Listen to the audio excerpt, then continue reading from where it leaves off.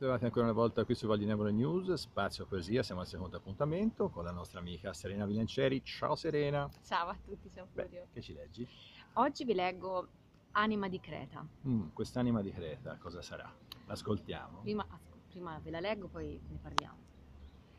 Indossi un abito in pelle, dove le pieghe della vita diventano le piaghe della tua esistenza, rughe che ti cambiano dentro e fuori, disegnando nei tuoi occhi i tratti del cuore, segni indelebili che ti forgiano come un ferro lavorato a fuoco. Ma tu sei e rimarrai anima di Creta, vulnerabile come la tua pelle. Ecco, quindi quest'abito di pelle... Sì, e siamo noi. Siamo noi. Siamo noi. Oh, lì c'era arrivato.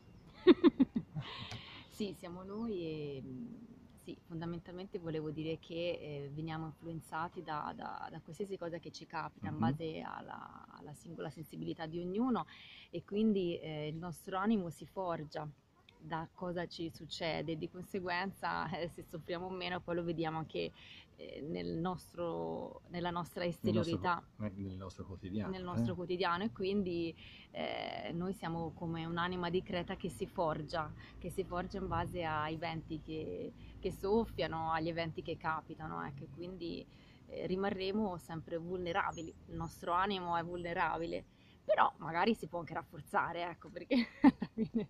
Siamo positivi. Certo, siamo molto positivi e ottimisti e quindi questa poesia mi piace tantissimo perché penso che rappresenti ognuno di noi e ognuno di noi è speciale e sarà plasmato in modo differente, è bello che ognuno di noi sia veramente unico al mondo.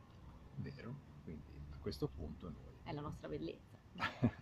la sua bellezza. Guarda. grazie Eccola di ognuno. La di mia ognuno. ormai è la sua, guarda. Beh, Serena, grazie. Grazie a voi. Eh, mi raccomando, la prossima settimana, terza poesia con la nostra amica Serena Bilancieri, poi seguiteci sui canali Valdinevole News, sui social Facebook, YouTube e Twitter. Bye bye! Ciao, alla prossima!